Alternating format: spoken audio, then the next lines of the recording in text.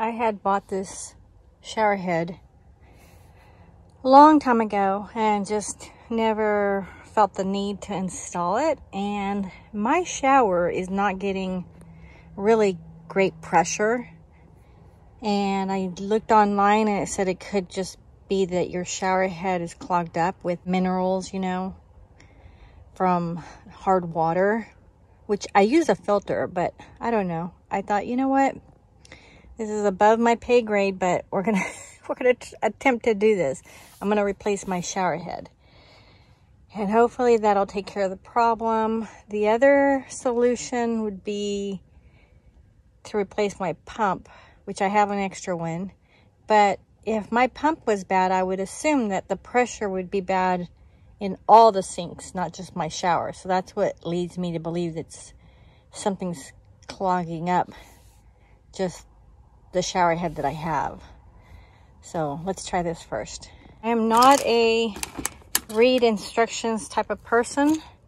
I'm more of a look at it and if it makes sense, then you can figure it out. This is like the mounting for holding the shower head. So that's, that'll have to be done another time when it's going to be dry in there because I want to take a shower now. So this looks like the part that would turn it off and on. Okay, so that's gonna go there, I would assume, because you wanna have it close to the shower head. Okay, and then one side is gonna go here, and the other side is gonna attach to the connector. This seems easy, unless there's any outie. I would think that these are both the same. All right, we're doing good. If a five-year-old can figure it out, that then I can figure it out. So let's let's try this. Yeah. So that would go there. I think I can do this. So this is the current one I have. And I had unscrewed it from here. So I will screw the new one and uh, hopefully that works. I already figured out one thing I did wrong. Before you start screwing it, you got to put it in the hole. And then this is this is gonna go south really quick.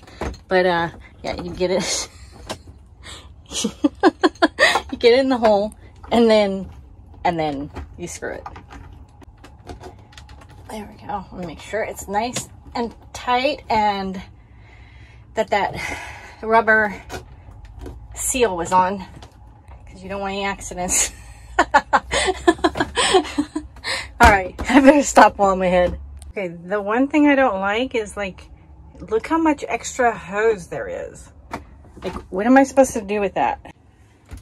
This is the one I had for the previous head and it works for now. Like I'll replace it with the new head, but, or uh, for the head. All right. I don't know what this is called. Um, but that can be replaced to hold that. And what I don't like is that this hose is way too long. Like, they didn't need to do that. I don't know what to do with this extra hose. Well, I'll figure it out. But let's just hope that this works. I'm going to turn on the shower and see. Oh my goodness. I don't know why I waited so long. This thing is amazing. Oh, it was. It was my shower head was clogged up. And wow, this is amazing. And this is actually one that saves you water. So not only do I get a lot more pressure, I'll show you, but it's going to save me a lot of water. Look at that. I can wash my feet every night. All right. And I like that it has the button. It's super easy to push. Oh yeah, this is a game changer. What took me so long? You know what it is, is I'm always scared to do things on my own until something breaks and then I'm forced to.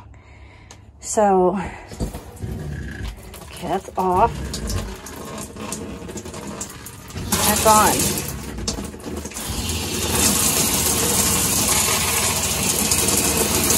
And to tell you the truth, I think it's going to work out that that hose has some extra length because I could take it off the holder and, you know, just, I don't have to just have it up there. I could wash, I could wash Roxy. oh yeah, this is amazing. So I'll share what else I fixed in my RV that I highly recommend you do before it happens to you guys. So in case you want the information, it's by Oxygenics. And it says amplifying technology and oxygen infused water, pressure, pressurize your RV shower, complete RV shower up, upgrade kit, powered by Oxygenics engine. Hmm. So, sounds like it's adding oxygen to increase the pressure. But I had read somewhere that it actually conserves water. I'm not sure where I read that. But I'm definitely going to read how to install this mount holder. That's what it's called. So I would install the mount first. While the shower, yeah, wall mount holder. Okay. Because it takes, you know, the double-sided 3M. So there's no screws. I don't think. There's screw? The other one that I have in there, oh yeah, I see one right there. Hopefully I don't have to screw any holes in, in the shower because I don't think I have a power tool for that, but we'll figure it out. I don't know what this is.